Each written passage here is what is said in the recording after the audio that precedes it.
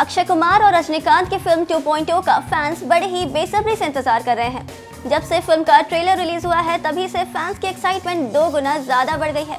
ये फ़िल्म भारतीय सिनेमा की पहली ऐसी फ़िल्म है, जिस पर 550 करोड़ से ज़्यादा का खर्च हुआ है। वहीं अब लीजिए, इस फ़िल्म ने रिलीज़ से पहले ही एक बड़ा रिकॉर्ड अपने नाम कर लिया है। दरअसल, इस फ़िल्म ने तमिल सिनेमा में pre release advance booking 120 crore रुपए की कर ली है। ये तमिल सिनेमा का अब तक का सबसे बड़ा आंकड़ा है। अक्षय की इस फ़िल्म ने रिलीज़ से पहले ही जो ये कारनामा किया है, उसे देखकर तो ऐसा ही लगता है कि 2.0 बॉलीवुड इंडस्ट्री के सारे रिकॉर्ड्स को तोड़ सकती है। बता दें कि इस पूरी फ़िल्म को 3D में शूट किया गया है। इसी के साथ ऐसा करने वाली ये फ़िल्म भारतीय सिनेमा के इतिहास की पहली फ़िल्म बन गई है।